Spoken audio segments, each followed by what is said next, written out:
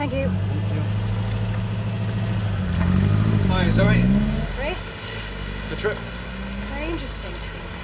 I've got a lot of questions to ask you and Dad. He's a bit preoccupied at the moment. Why, what's wrong? Oh, it's not his health or anything. A car was dragged out of the quarry this morning. It's almost certain Kim's body was in it.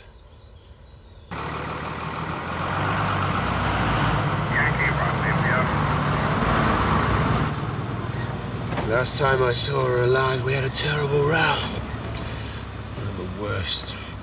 The body hasn't been identified yet, Dad. It's her, I know it is. How the hell did she end up in this quarry? I never wished this on her, you know.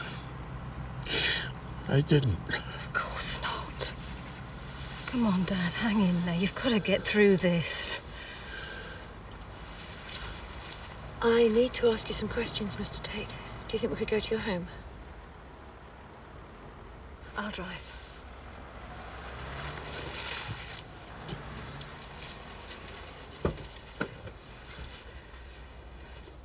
I'm his daughter. Um, is it my stepmother? Well, we'll need formal identification shortly.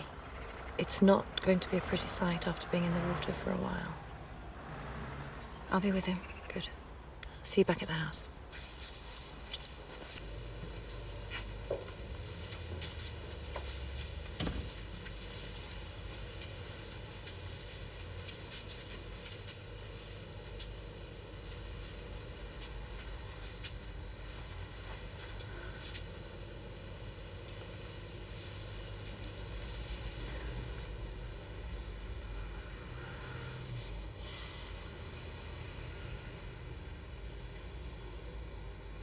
Is it your wife, Mr. Tate? Yes. This should never have happened, Kim.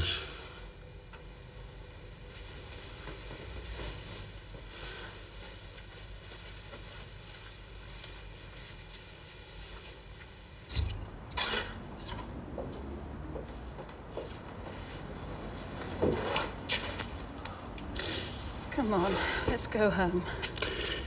She can't be dead. She can't be.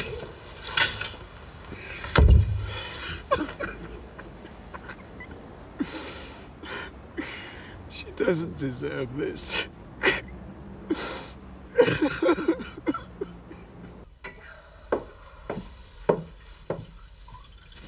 You want a drink? No thanks. Good excuse for one. Stepmother found dead, trauma and all that. No. Thank you. What do you think she was trying to do then? Make her name as a stunt driver by leaping over the quarry? Chris, the woman is dead. Have some respect. She'd have had us all out on the streets given half the chance. Dad should have got rid of her years ago. Kim was my wife. And the mother of your half brother. Look, I- I'm sorry, Dad. I know what a shock it's been for you, but she was hardly a loving wife. Once all the police formalities are out of the way, you'll you'll see things as they really are.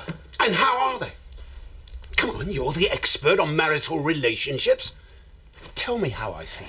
Come on, Dad, we've got a lot to discuss. Nothing that can't wait. I'm the only person who knows how I feel, and let me put the record straight. I loved Kim. Your mother was a wonderful woman, but my passion for Kim was much more. A lot of me died out there today when I saw her lying dead. So much so that if I hadn't had a baby son, I probably would have gone with her. Oh, Dad, don't say that. She was planning to run away with David Glover the night he was injured. and I would have won her back again. I hurt her and she hurt me. But when it got down to it, we were made for each other. Why? Why did she have to die?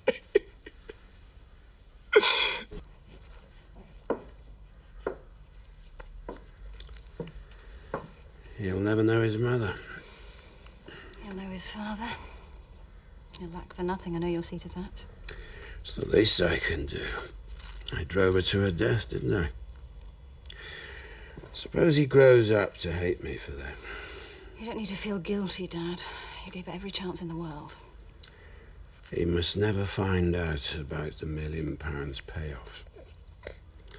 He has to believe that he was a product of his mother and father's love. Don't worry.